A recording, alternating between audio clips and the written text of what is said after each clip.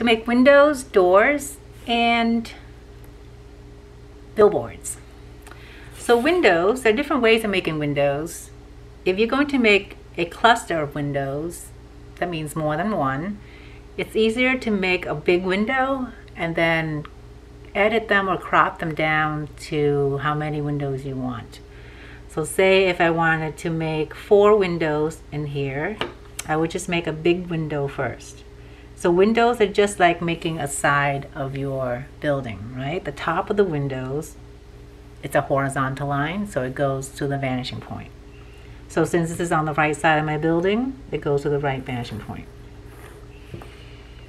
I'm also going to line up the bottom of my window to the vanishing point.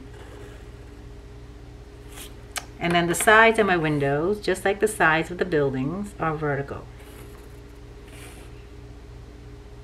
So if I wanted, this could be a big window, or it could be like a big billboard. We can put a picture in it. But I want to make it into four windows. So I'm going to go back, and I'm going to divide this into four sections, right? So I'm going to add the vertical line. And I'm going to leave a space in between. And then erase. So now I have two windows. I'm going to divide it this way, so I make it into four. So same thing as the top and the bottom, I line up to the side of the um, building that it's on. In this case, it's on the right side. So I line up my vanishing point and I make my diagonal lines to it. In reality, these lines are horizontal lines, right? The top and the bottom of your windows. And then I just erase the line in between. So instead of having one huge window, now I have four. Now to make these windows look a little more three-dimensional, we're gonna make it look like it's going inside, so you can see what's inside the windows. So to do this, you're gonna look at the windows and see where they are in relation to your horizon line. So say if I wanna make this window look 3D, right? This window is, there's four corners of the window. So you're going to decide which corner you want to make it so it looks 3D. So how this works is it's kind of like common sense when you look at the window. Where is this window? It's on my right side, right? So I go to the right corner somewhere. So I have a top corner and a right and a bottom corner. Which one do I use? I want to use the top because it's higher than my horizon line. So it makes sense if you're standing here, you're looking up and you're going to see the top of the window, not the bottom. If I have a window down here, then you would see the bottom because it's lower than the vanishing point for your horizon line. So I start at the top right corner of that window. I make a short diagonal line going into the window that lines up with the opposite vanishing point, which is on my left. So I make a short diagonal line. From there, my vertical, I'm going to connect that to the bottom of my window. It's a vertical line. And then this line connect to the side of my window goes to this vanishing point on my right side.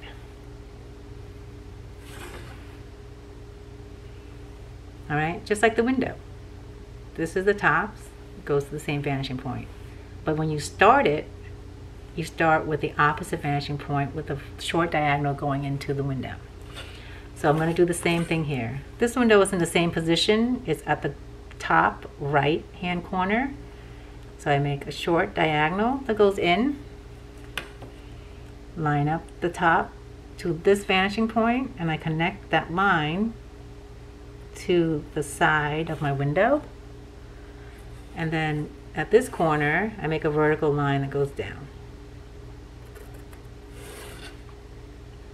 All right, so just to show you how different it would look. If I were to have a window down here, I'm going to make a window down here so you can see like how the angle changes it or the placement of the window.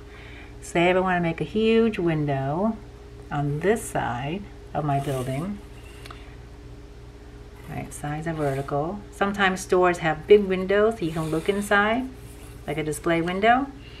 So now this window is on the left side of my building, right? So I use the left corners it is also lower than my vanishing point. So I use the bottom left corner to start.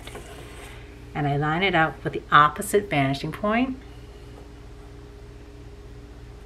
I make a short diagonal line that goes into the window.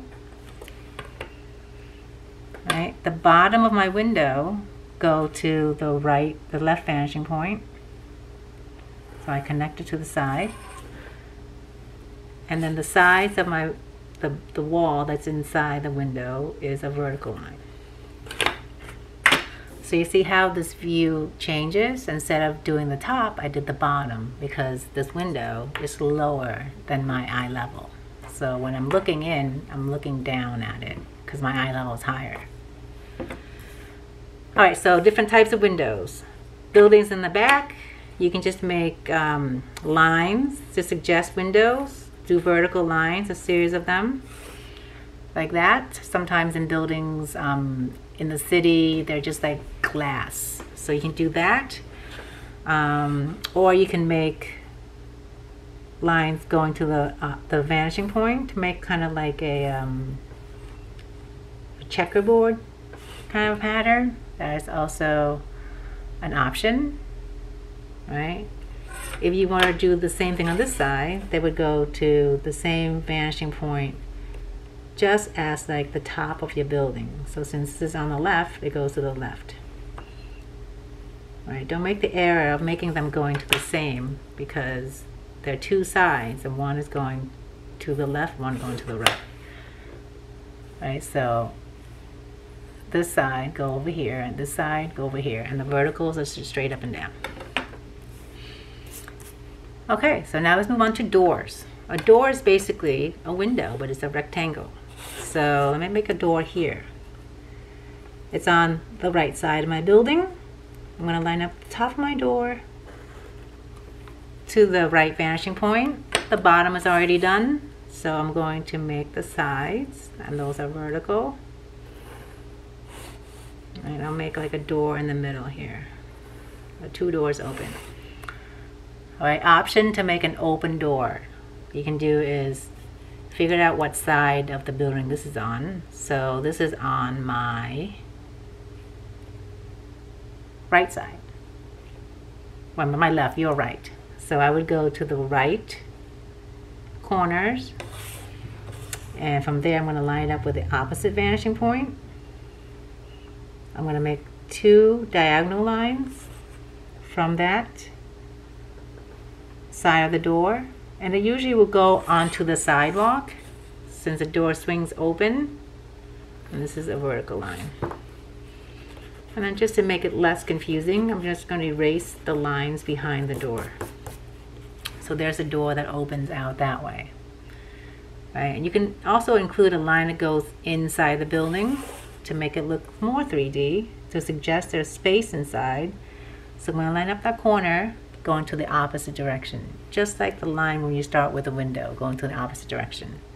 And that's the diagonal line that goes inside the door. Right, so it looks like you're walking inside the door. All right, so now billboards.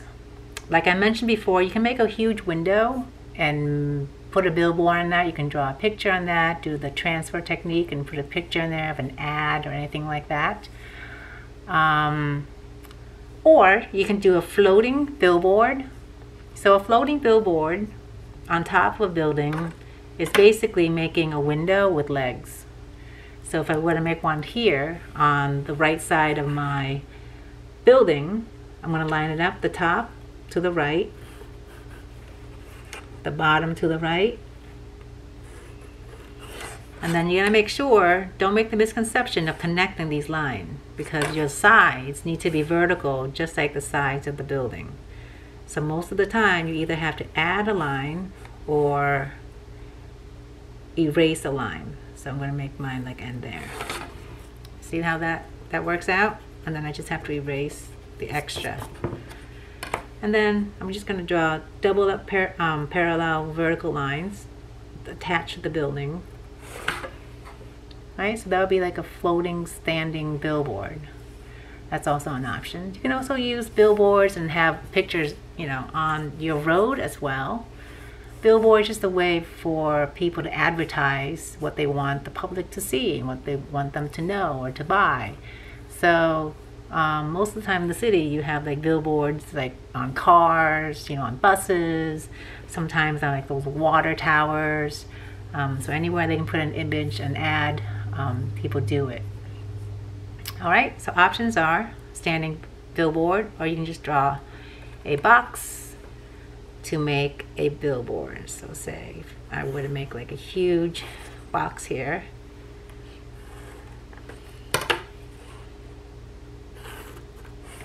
And then when you write, you have letters on your billboard, they also have to go to the vanishing point. So parts of the letters, that anything that's a horizontal line in your letters, go to the vanishing point. Right, so if I write high, right? So my H's would be vertical, right? This is a horizontal line in my H. I line it up to the vanishing point.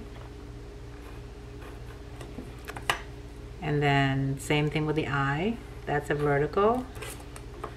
And then the top and the bottom also go to the vanishing point. So a lot of times I'd like to make a line um, inside my billboard if I'm writing something.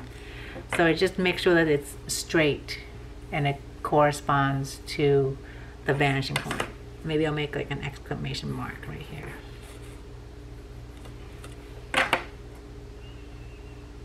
Right, so that's what you would do if you were to write on the billboard, have any kind of writings on the billboard.